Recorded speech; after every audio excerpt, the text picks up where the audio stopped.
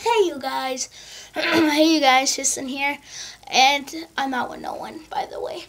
But today we are going, I'm going to show you guys what another a view of what we just won at the claw machine at Denny's. So we just got home.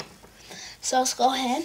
So first, here is the doodle jump that we won. It looks exactly like the doodle jump in the thing. This is the um, Superman one. This is my actually favorite level from Doodle Jump. And he has a little cape and it has DG for Doodle Jump. Black eyes and four feet. And he came with a tag and there's a sticker. Oh, oops. But there's a.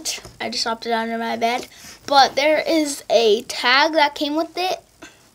It says Gamer Green. Unlock your reward now. There's a.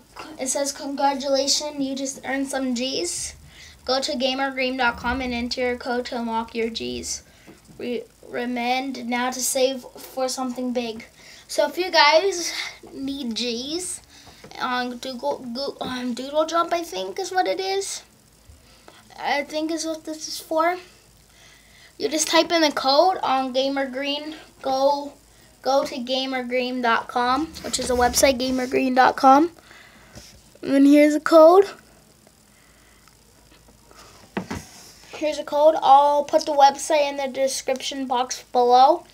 And the code, I'm just going to say it in the video.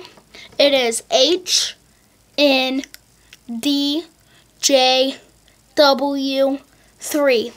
That's the code to get more G's. And again, here's the stuffed animal. It's really squishy and this cape is really has a weird texture to it. It's like made out of weird material. But anyways, thank you guys for watching. Comment of the day.